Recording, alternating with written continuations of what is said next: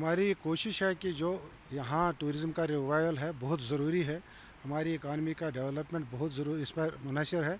इसके साथ साथ पच्चीस से तीस परसेंट लोग कश्मीर के हैं, जम्मू कश्मीर के हैं, जो इस टूरिज़्म के साथ वाबस्ता है। आपको पता है, पिछले तकरीबन तकरीबन छः महीने से तो तक पूरा ठप ही पड़ा था बिकॉज़ ऑफ़ कोविड लेकिन अब हमने छोड़ दिया है टूरिज़्म का रिवाइवल के लिए। हर एकदम कोशिश की जा रही है। वो यहाँ भी अपने लोकल लेवल पर डोमेस्टिक लेवल पर भी कोशिशें की जा रही हैं और अपने नेशनल लेवल पर भी कोशिशें की जा रही हैं। फॉर एग्ज़ाम्पल हमने अभी वर्ल्ड टूरिज़्म डे मनाया, हमने भी कलकत्ता जाके टूरिज़्म का प्रमोशन करना शुरू कर दिया।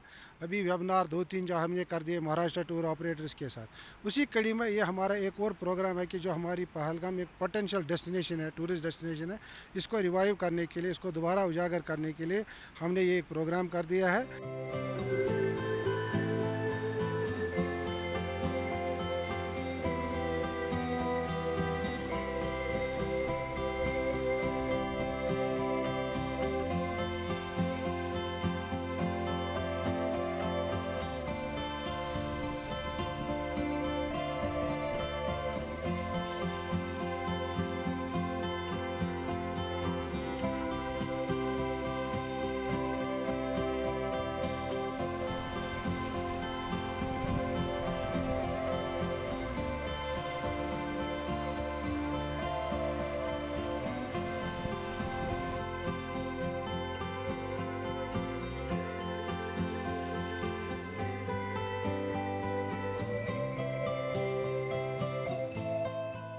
पहलगाम फेस्टिवल यहाँ चालू हुआ, ये हमारे लिए बहुत खुशकस्मती है क्योंकि हम टूरिस्ट चाहते हैं यहाँ टूरिस्ट को हम अपील करते हैं कि वो यहाँ आए, हमारा पहलगाम देखे।